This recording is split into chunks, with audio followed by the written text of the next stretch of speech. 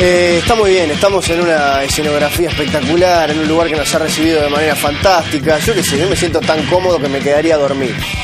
Bueno, si querés dormir, te podés hacer una pequeña siestita porque vamos ya con los titulares de lo más importante de la jornada.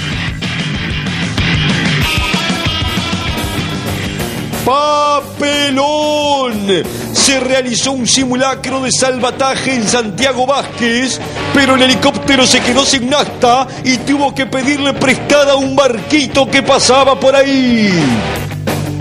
¡Despedida!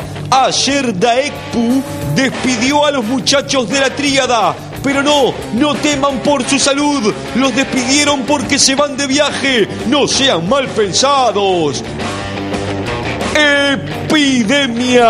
Se registraron más casos de gripe porcina en nuestro país. Reporte descomunal te muestra la cara de algunos de estos enfermos infectados para que no te les acerques. Algo de esto y mucho más hoy en el primer programa de Reporte Descomunal.